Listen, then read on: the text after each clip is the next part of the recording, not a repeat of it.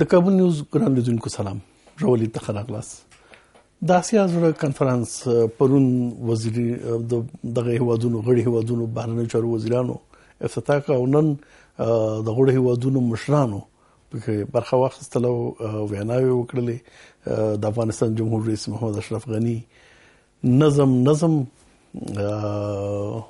خصوصا د شهید د حمله نه روسته خو بل اخره راضي شو او لاړ دغه کانفرنس ته په دغه کانفرنس کې آیا د افغانستان دوسیه د افغانستان دریز لکه څنګه چې مطرح شوی وي اخسي مطرح شو کنه ډاکټر سرور اشرف غنی د پاکستان د مبارزې ستاینه وکړه چې تروریزم په وړاندې کوي د سرحد په اوګدو کې د ډیورن کرخي په اوګدو کې چې د کرخي د کلکوال لپاره کوم دا د غیستاینه وکړه او د اقتصادي همکاریو کې د پاکستان د ونډې کموالی لږه ګیله وکړله او یو ډیر غیر مستقیم بس دغه سی ویل چې اوس هغه وخت تیر شوی دی چې تروریزم نه ابزاري استفاده وشي خو د د پخوا کې ویل چې د بهر نه د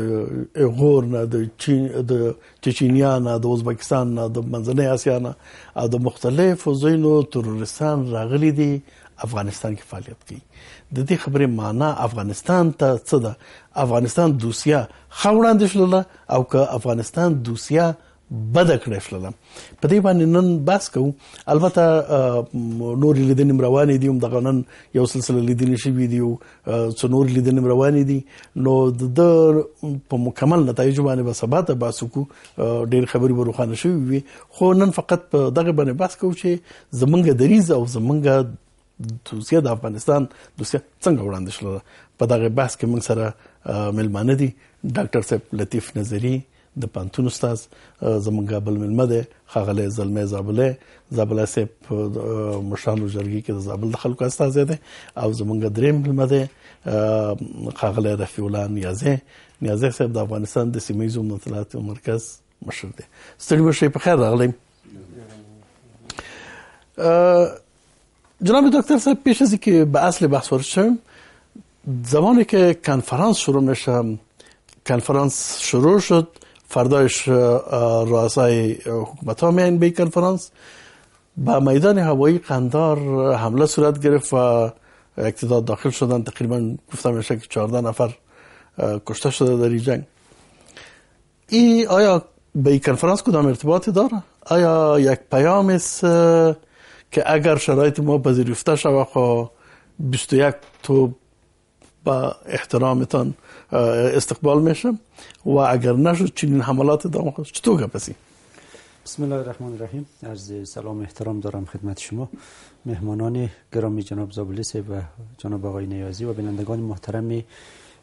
کابل نیوز من فکر میکنم که در واقع یک پیوند ارگانیک و دینامیک وجود داره بین نشست قلب آسیا در اسلام آباد و حملاتی که در مناطق مختلف به خصوص در قندهار صورت گرفته علتش است که پاکستانی ها همواره یکی در واقع از ابزار نظامی و دوم از ابزار گروه های تروریستی و افراطی به عنوان اهداف سیاست خارجی خود استفاده کرده بنابراین پیام سریح این حملات میتونه ای باشه که در واقع پاکستان میتونه دست برتر در این نشست ها داشته باشه در صورتی که اگر پاکستان به عنوان سرچشمه کنش های افراطی و منابع تمویل و تجهیز تروریسم از سوی رئیس جمهور افغانستان مورد مناقشه و جدال قرار بگیره و وجهه پاکستان در محافل سیاسی دیپلماتیک و رسانه‌ای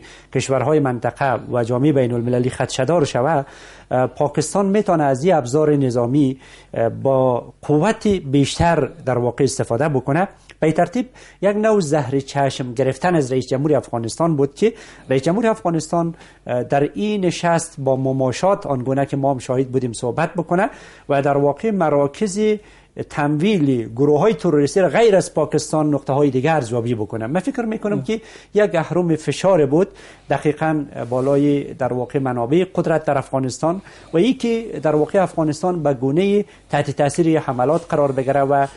در واقع تلاش نکنه که پاکستان مورد ملامت و سرزنش در این نشست که کشورهای منطقه و قدرت های بزرگ حضور داره مورد توجه قرار بده پس فایده دی کنفرانس برای ما چی اگر موقف افغانستان به صورت درست د کنفرانس مطرح نشه پس فایده ای کنفرانس برای ما چی و رفتن رئیس جمهور چرا رئیس جمهور خو میگفت که نمیرم نمیرم بعد از بسیار نمیرم نمیرم گفتن ها اینا بالاخره رفت چرا برعکس من فکر میکنم که هم مردم افغانستان از رئیس جمهور توقع را داشتن هم منافع ملی افغانستان و هم دورنمای سیاست خارجی افغانستان و چشمانداز صلح افغانستان ایجاب میکرد که رئیس جمهور افغانستان از مطالبات مردم افغانستان در این نشست نمایندگی میکرد و با قاطعیت جانبه در واقع مداخلات پاکستان و حمایت یک کشور از گروه های افراطی و تروریستی را در واقع برملا و افشا میکرد این میتانست هم قوت دیپلماسی ما را بیشتر بسازه و هم در واقع فشارها را بر پاکستان بیشتر بسازه آقای غنی هم درک میکنه که تا زمانی که پاکستان زیر فشار جامعه بین المللی قرار نگیره در واقع نارامی در افغانستان همچنان ادامه پیدا میکنه و بارها اعلام کرده که در واقع افغانستان از سوی پاکستان مورد یک جنگ تحمیلی یا جنگی به یک روز اعلام نشده یک روز اعلام شده قرار داره لیکن در اینجا هیچ چیز گفته نشد دقیقا به همین جهت است که تناقض در رفتار سیاسی زمامداران ما را به منصه ظهور میرسانه که اگر تا دیروز پاکستان سرچشمه کنش های افراطی بود منابع تمویل و تجهیز تروریسم بود و عامل بیثباتی افغانستان بود مانع در برابر صلح افغانستان بود امروز که فرصت فراهم شده کشورهای منطقه و تاثیرگذار در اینجا حضور داره قدرت های غربی هم حضور داره من فکر میکنم این یک فرصت بود که در واقع رئیس جمهور افغانستان میتونست حتی با استناد مداخلات پاکستان حمایت این کشور به خصوص استخبارات و نظامیان پاکستان از گروه های افراطی و تروریستی را مطرح میکرد و در واقع ما میتونستیم در عرصه دیپلماسی پاکستان زیر فشار قرار بدیم این بهترین فرصت بود به باور ما که من فکر میکنم یک اشتباه استراتژیک یا یک تعمد استراتژیک در این راستا مورد توجه قرار گرفت درست زابل صاحب دا یو استراتژیک اشتباه و که پلان شوی کارو تاسو ګورئ د قندوز د پیښې نه نیولې لوی درسي زمونږ و چې پاکستاني جنرالان راغلي امر الله صالح چې د د په مشرۍ کوم هيئت چې تحقیقات وکړل هغه هم د بهرنیو د راتګ د پاکستانیانو د مداخله او د ټلیفوني مکالمو یادونه کوي چې مسلسل منظمې ټلیفوني مکالمې کېدلې اخواته هغه نه نیولې اتیا نفر دلته وژل کیږي او دیر کې په تشریفاتو سره چې پوځیان د پاکستان پکې شرکت کوي هغه خور ته سپر یعنی یو نه ډیر شواهد د پاکستان د مستقیم مداخله دلته موجود هغه و نه ویل شول برعکس ویل شول چې د چچنیا او د کم کم ځای نه تروریستان راځي یعنی پاکستان هیڅ یاد نشو نو پاکستان خو سپین مملکت دی ولې دا ولې د سوشل ډیر شکر ستاسو سوال ډیر پر ځای سوال دی زه به په اوله کې داسې یو فشرده ته وایم چې د ډاکټر صاحب اشرف غنی بیانیه یا سی آی نشته کړې و یا آی سای یا سی آی نشته کړې و یا آی سای په دې په څه خاطر په دې خاطر چې په ټولو کې د ام د آی سای په اصطلاح منافع د ډیر وسله مننه او ځینې وکړه امې د پاکستان څخه مننه وکړه ډاکټر صاحب اشرف غنی چې تلای د پرون ورځ په پارلمان کې تقریبا 90% د پارلمان اعضاء مکمل ټول خبري وکړي ځکه د پار کې د پارلمان د غونډو مکمل سي ډي ماشام ورته دی ویني په خپل شخصي ډاکټر صاحب غني ویني ډاکټر صاحب غني ته ټول دا ویل چې ډیر شي اقدام دی ډیر ښه موقع ده تاسو هغه شواهد لري د جنگ چې پاکستان پر موږ باندې تعمیل کړی دي تاسو هغه شواهد چې زموږ سره امریکا وعده کړې ده غربیانو وعده کړې ده هغه ستراتیژیک تړونونه ورسره لرو دفاعي او امنیتي د هغو نارسایي د زموږ عدم تجهیز دا ټول باید دې سوي دي چې په افغانستان کې نارامي ده جنگ دوامدار دی دغه اسناد شواهد تاسو یوسي د پاکستان څخه هغه تشکر وکړي لکه داسې د د د زموږ د 2 میلیونو ماجر چې پراته دي هغه تشکر سي وکړي دا به مرته ویل واسي اوس نو اساسي موضوع دا ده ځکه په ماجر کې کچيري پاکستان نن په دغه ماجر کې په پاکستان په خاور کې پراته دي کله پاکستان یو پلس چنده د مذهب خپله فایده د ملي متحد څخه وانه خي سیاسي ګټې ځنې وانه خي خپل لشکر دغه صدی پورا نه کی استخباراتي کار کول نه کی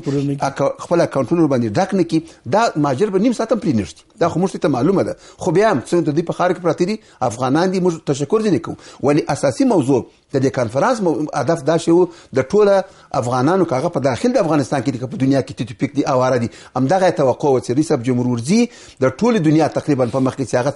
څوارلس دغه هېوادونه د د اساره زړه د کنفرانس دي اوولس هېوادونه حمایت کوي تقریبا شپږ نور بین المللي قوي سازمانونه دي چې ناټو ده ملل متحد دی په هغې کې شانګهای سازمان دی اتحادیه اروپا ده بل بل بل شانګای مې یاد کړي دا د دغه ټول په حضور کې به داس آشنا شول چې پاکستان موږ سره داسې مشکل لري دا پاکستان کدا رقم دوامدار وکي نور دي دا جهانيان د افغانستان څخه ګیله نه کوي ځکه افغانستان دونه پوج نه لري چې موږ ته هغه څنګه چې موږ سره امریکا او غربیان وعده کړې نیره تجزیه موږ نو دونه قوت نه لرو اقتصاد نه لرو نور کم کم داسې یو یو یو صلاحیت موږ نه لرو چې دا مهار کو روزانه مو قرباني کیږي د چیشته لپاره چې د امریکایانو د جنگ دی غربیانو سره دی دلته تشنج غواړي چې ولر سي اسیای مهنت موږ د اسیای مهنت ز خیرو پیرداران ځان جوړ کړی دي الته مو دوغه د پماش باندې جنگي روس امریکا مش تماش راکي دغه به ورته ویلې وای نور به د د کانفرنس اته بيخي به تر کړی وای کې نه وای تر کړی هغه به تر کړی یا به تر کړی وای په بیتیجات چې وروره د افغانستان خو دغه دلسکل ته په کنفرانسو باندې ټکور ټکور کوي هم دغه غربیان دي غا وخت په جاپان کې کښنی غا وخت په لندن کې کښنی غا وخت په کوم ځای کې کښنی نتیجه نه سته اشرف غنی په دې باندې خطا کوي چې دی ورغه یو ورس ډزې د توپ کړې اش په ډیر شو لوکس موټرانه کې تر کوم ځای پر راوستي په تشریفات باندې تراست د کنفرانس هم رابري مختبوز په دا خبرو باندې دی دې ته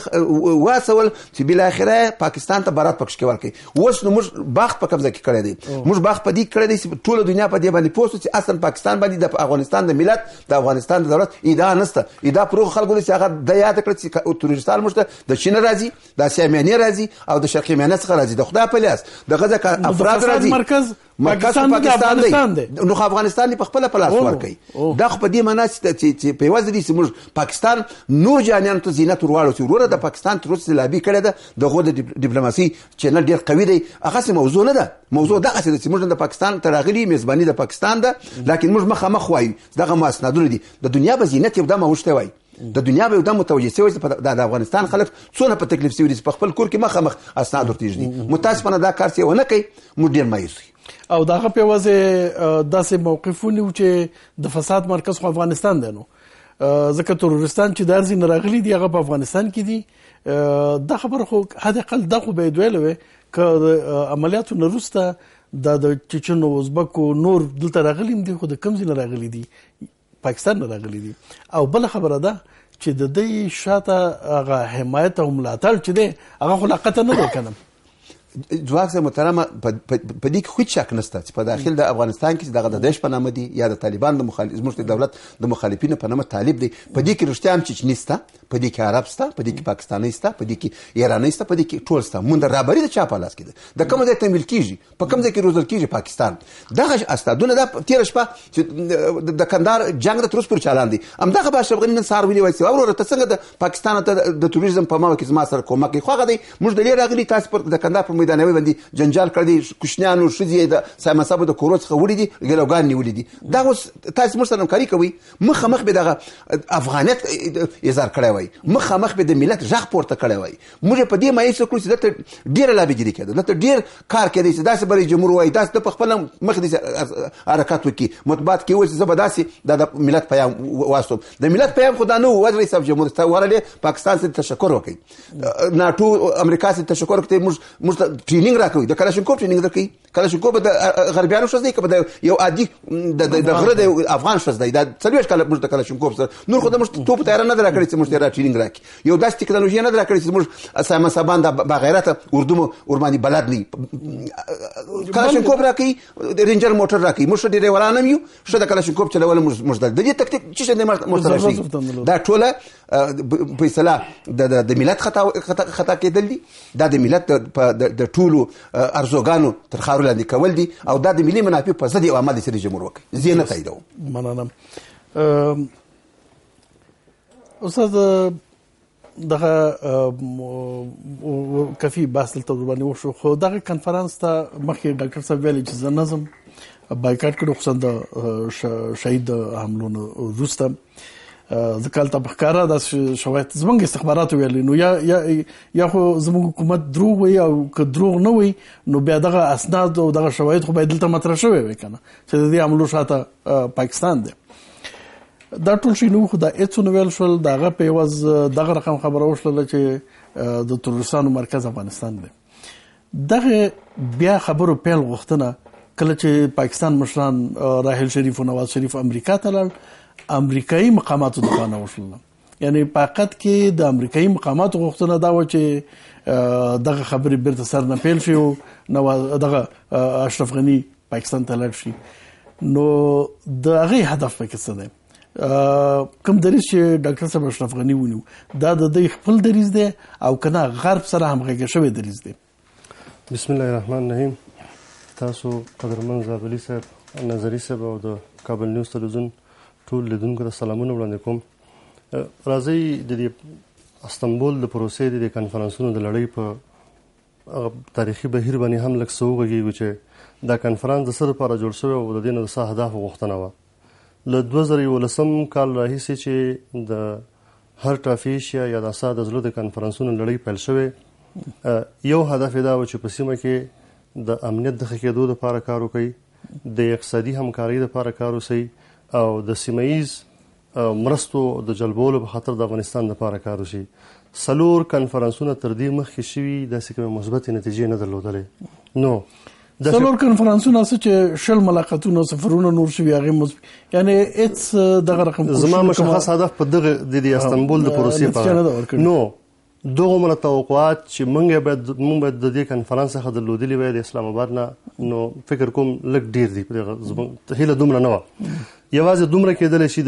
د اسلام آباد د کانفرنس په هغه کې چې د شاه شهید لپیخه او د قندوز له سقوط وروسته چې د افغانستان او پاکستان ترمنځ په ډیپلوماټیک ډول باندې کوم توتریخواله رامنځته شوه دا به راکم کی یو دویمه هیله په دې به کېدای شي کېدای شي چې د سولې پروسې خبرې چې د ملا عمر د مرګ د مړینې نیټې سره راښکاره کېدو سره وروسته په ټپه درېدلې وي بیا به پیل شي خو څو خبرې پکې شته څه مشکلات پکې شته درېیمه مسله دا چې د اقتصادي سیمه ییزې همکارۍ پر سر باندې به د سیمې د هیوادونو نوې نوې وړاندیزونه او نوې خبرې اترې وشي او څلورمه خبره دا ده چې یو داسې پلیټ فارم رامنځته شوی چې په هغه باندې د افغانستان د مسایلو په اړه بحث کیږي دا چې د افغانستان نمائندګي په خټ ډول وشو او نشو په ځینو خبرو ته په دې مجلس کې اشاره وسوله په سیمه کې د ترهګری مثلا ترهګری دا اوس د افغانستان یوازې د افغانستان مسله نه ده دا سیمه ایزه مسله ده په ټولې سیمې پورې تړلې ده د سیمې ټول هیوادونه ورسره مخامخ دي نو په کار دار چې نیازه صاحب هغه څه چې چې اشاره وشله کوم خبره چې وشله هغه خود سه روحانه قطونه دي تروریزم موږ تم خطر ده پاکستان تم خطر ده لیکن په دې غونډه کې دغه نه چې لکه څنګه چې دغه بحث کې زابلی سي ویلي نظری سي ویلي دریځ ویل شوی وي د افغانستان شکایتونه ویل شوی د پاکستان مداخله یادونه شوې وي ځکه اصل مشکل او درد خو دغه دی دغه په د پاکستان د پوز د عملیاتو نه د دې کارون نستاینه وشول یعنی افغانستان هیڅ مشکل د پاکستان سره نه لري زمونږ اصل مشکل چیرته دا خبره یادونه و نه شوله دغه خبره چې د افغانستان اصل مشکل دلته یاد نشي یو او دغه کنفرانس او د اشرف غنی ګډون پکې د غرب او د امریکا د هڅو په نتیجه کې رامنځته شو ځکه پاکستاني مشران چې ورغلي و امریکا ته هغه ونه غوښتل چې تاسو سره خبرې شروع کړي او بیا دغه وروسته ډیپلوماټیک تحرکات شروع شول ترڅو چې په اصطلاح اشرف غنی دغه شو په خلاصو نو اوس چې دغه دواړه سره یو ځای کی نو څه چې ډاکټر اشرف غنی په دې کانفرنس کې وویلې یعنی دا غرب غوښتل چې هم دغه رقم یو دریز ونیول شي په دې کانفرنس کې اصل مسایل رامنځته نشي